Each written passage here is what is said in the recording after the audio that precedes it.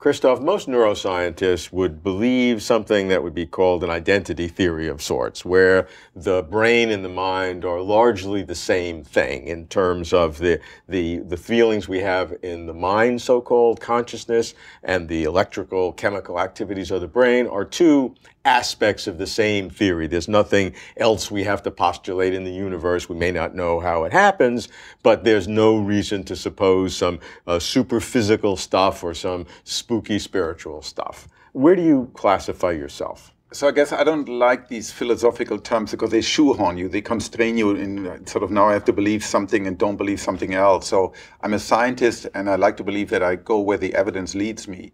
So yes, it's true that there's a very close, intimate relationship between brain or parts of my brain and my consciousness. I know this because when you get a strong blow to your head, you lose consciousness, and we know this through thousands of experiments. There's a very close link. If my brain goes offline, my mind goes offline. But it turns out many parts of my brain do not relate directly to my mind. I can lose parts of my brain, like my spinal cord, and I, will be paralyzed, but my mind won't be affected that much. I'll still be conscious.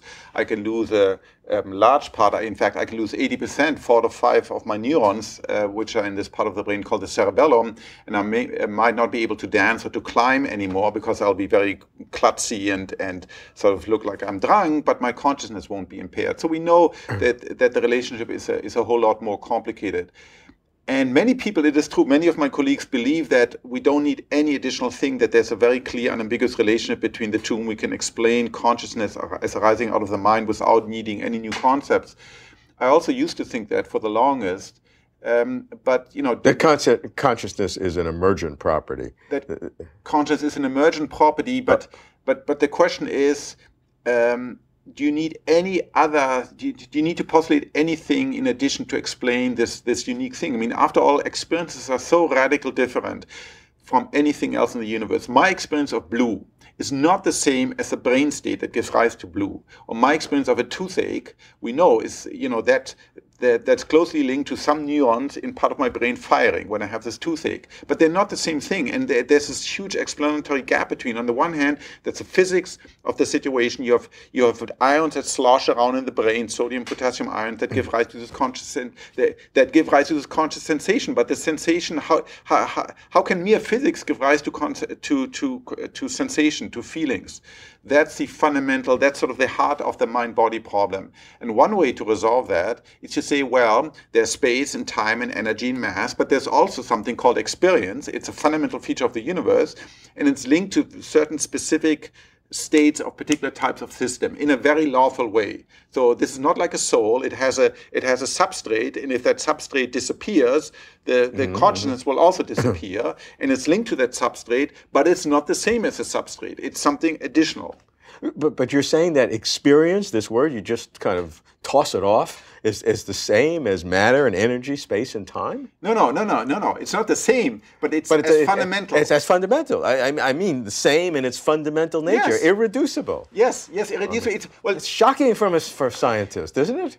Well, no, but but if you think about it, Robert, the most fundamental aspect of your life, the only way you know anything in your life is because you experience your pain, your pleasure. You hear me, you listen to yourself, you have memories. Those are all conscious but that's sensations. very, very higher order. No, your, eh. your feeling of pain isn't higher order. Your feeling of nausea isn't higher order. Your feeling waking up in a hotel room being desynchronized, you don't know where you are on the planet's face, that's a conscious sensation. And that's fundamental to your life. And the only way you know about anything is because those conscious sensations. All, all, all agree. But, but those are just uh, uh, uh, higher level activities of all my brain activity. And I'm, I'm imagining that that's important, and it is important to me, but, but how can you say that's at the fundamental level of the structure of the universe, like the fundamental, that you can't reduce that experience to, to, to some physical Well, terms. right now at least we have no idea. So consciousness is not part of the foundational equation of physics. It's not part of general relativity or quantum mechanics. It's not to be found in the periodic table of chemistry. It's not to be found in the endless ATG GC chatters of mm our genes, right? Yeah, yeah, yeah. But it somehow emerges out of that. Yes. I mean, that's true. Right. But, but in order to have a complete view of the universe, we have to explain how it emerges. And right now it's utterly unclear how it emerges, I believe, until you postulate something fundamental. You say certain types types of system, in addition to having all the usual physical properties, they have these conscious experience. My brain and your brain being being two examples of of, um, uh, of that. Certainly, we have a radical view where most brain scientists would say that consciousness is an emergent property. We don't know exactly how, but it's a pure emergence. We don't need any new special laws. And then there are many philosophers who say that in principle, we're never going to explain it at all because those brain scientists don't understand at all this explanatory gap. They, they're just clueless about philosophy. And the scientists say, you know, the best thing philosophers could, could do is to keep the other philosophers away from me. So, so we have these radical views, and you're taking a, di a different view than both of them, actually. Yeah, I don't take this defeatist view seriously of the philosopher because they've said many philosophers have said the same thing about life that we cannot okay. explain life, we need new laws and but ultimately my view is informed by by by by by empiricism. So the, the these theories, like like the one I was uh, I was mentioning, um, that that postulate that consciousness arises out of certain certain types of complex systems, they can be put to the test. They can make specific prediction which systems are conscious, which one is not conscious. In principle, they allow you to build a conscious meter that tells me a particular system, a particular brain that might be in coma is or is not conscious. So it makes specific prediction, and that's ultimately what it's about. It has to be, we have to have a theory that's not only metaphysics, but that makes some prediction okay. that we can then okay. test and evaluate. Okay, that's very exciting, actually, if, if you can make any progress along those lines, because many philosophers say that, that in principle you can't even make progress because you don't even know what a theory could even be. But you're now saying that you have an idea of at least what a theory could be. It may or may not be right, but that's a big step if that's true. Yeah, I think over the last 20 years there has been significant pro uh, uh, progress in this nascent field of consciousness science. But you still need to postulate experience, your word, as something fundamental. I do believe that's necessary. Correct. Okay, so so then how do you go to the next step? I mean, how do you how do you try to um, describe this experience? What what what are the constituent parts of it? What's the uh, experience on? Uh, as opposed to a you know graviton or so, what, what is the the the the the, the uh, fundamental core particle of experience? All right, so this is the, the, the, the theory that, that, that, I'm talking about was um, discovered or invented by a neuropsychiatrist and a, and a, scientist, a PhD MD, Giulio Tononi at University of Madison. So he postulates that, that the two fundamental aspects of consciousness, and many philosophers have said the same thing, is A, I can integrate a huge amount of information when I'm when whatever I'm conscious of, I'm conscious as a whole. It's integrated information, it's holistic. I look at you, I'm conscious of you. I cannot, for example, see you in black and white.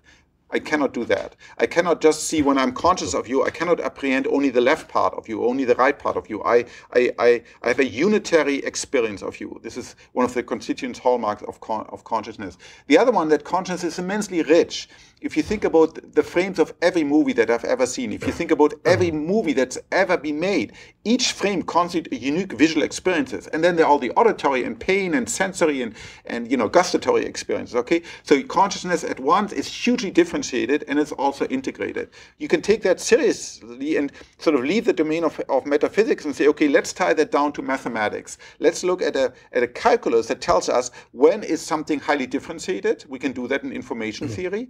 So for instance, my disk, my, uh, my, my hard disk on my iPhone or my, my computer is highly differentiated. To be correct, it has 16 gigabytes worth of differentiated states. I can count those. They're not very integrated because right now, for example, my iPhone doesn't has no knowledge that those bits are actually photograph, or it might know it's an image, it's a JPEG image, but it doesn't know that the picture conveys in, in the identity of a particular individual, my daughter, and it doesn't know that the entries in my diary on my on my on my calendar refer to my meeting that lady, that young lady, my daughter, right? So none of that information is integrated. Now, if you look at it as a human, you can immediately see it, and you can you, you can look at an, an image, you can immediately tell so many things about that image because you have access to that information in this holistic way. You know it's a woman, you know her age, you know her ethnicity, you can probably venture to guess where it was taken, in, in what locality, etc. Computers right now don't have that. So, so, so then you can take this calculus and cast it into mathematical form, and then you can begin to test it. Well, how does this apply to the circuits of the mind that we know are involved in generating consciousness? Let's look at those circuits. Let's look at a particular part of the brain and see does it have this integrated information? Does it? Uh, how does it compare with the with this calculus that I can do that that uh, that that comes from the theory. So, uh, uh, what are the implications of that? Well, the implication says that in principle, it gives me a recipe for telling what, what type of networks are conscious, why are certain types of networks not conscious. The cerebellum, for instance, does not appear to be um, uh, to give rise to consciousness, although it has um, more than 80% of the neurons. In my head, the spinal cord doesn't appear to be uh, generating consciousness. Even my retina, if you think about it, I don't see with my eyes. My eyes are necessary for see, but I can close my eyes. I can still imagine you sitting there. And of course, I, tonight I'm going to go to sleep. I close my eyes in the dark and have very vivid visual experiences without my eyes closed.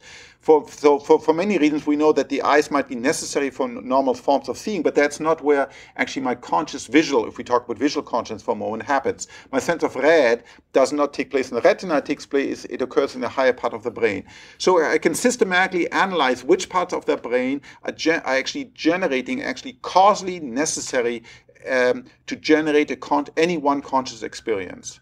And then again, I can compare that with the, with the prediction of the, um, of the theory. Does this theory, so this theory predicts that you need a certain amount of complexity measured in this way. It needs to be differentiated and integrated, and Tononi calls it integrated. So his theory is called Integrated Information Theory of Consciousness.